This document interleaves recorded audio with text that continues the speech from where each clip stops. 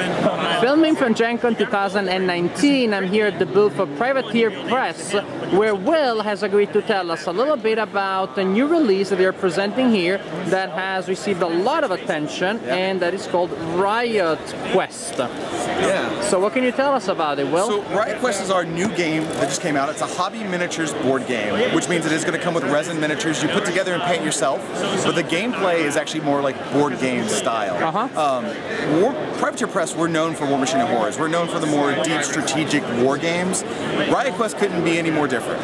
Uh, it's a super casual, fun party game. The idea is it's what we like to call Saturday morning apocalypse. Okay. Uh, in this, the Warmachine storyline, it's as if everything has gone wrong.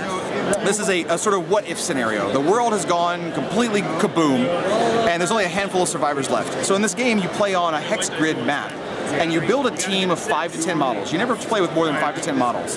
And the idea is you and up to three other players are having a big free-for-all sort of brawl on this map where the idea is go find treasure, build special gear and equipment to help you win, and then there's a variety of different bounties. They're random every turn that score you victory points. Maybe you have to go plant a bomb, or maybe you have to go defuse a walking death trap. The deck is a shared market of objectives you're all trying to, to get. You shuffle it up, you flip over two of the objectives, and the first person to score one, you get that card and a new one flips over. So every time you play, the path to victory is different. Uh-huh. Those bounty cards are worth victory points, and the first person to seven victory points wins.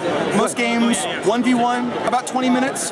Four-player free-for-all, maybe 45 minutes to an hour. Uh-huh. Mm -hmm. So we can see that we're actually demoing it right now uh-huh. at Gen Con. And so uh, this uh, compound, what we see here is based on what you find in Inside. the starter set? Yeah, this, this is, the, the starter set? Yeah, this is as if each player had their own starter. Okay. So the starter comes with five models and everything you need to play. So here we see the hex grid map they're, they're playing on. Mm -hmm. The starter set comes with a poster map, but we're going to make neoprene maps for all the maps we make for on because they're higher quality and a little nicer. Uh -huh, this is nice. what we had to fit in the box, right? Sure. Uh, you get the five different models. Then you get all the cards, the rules, and the special dice you need to play. So here we see Tony, who's given our demos, works at Privateer Press. He's over by that shared market of cards I was talking about. So you can see the green uh bounty cards, and there's two in play right now. Those are the two cards that they're trying to achieve whatever the objective on them is right now, and as soon as someone does, they'll actually take that card and score a point. Uh -huh. And then a new card is going to flip off the top of the deck. I see. But this game is an alternating activation game. So one player goes, they activate one of their heroes, they run them around the board, make them attack, use special abilities, interact with each other, then it goes on to the next player. Uh, you keep going around, and the main resource of this game is your dice. You'll see that there's white dice. Mm -hmm. They start on a dice roll, which is that red card, and as you spin dice to do things, you take those dice when you have someone run or attack, and you place them on the hero that used the dice to do that.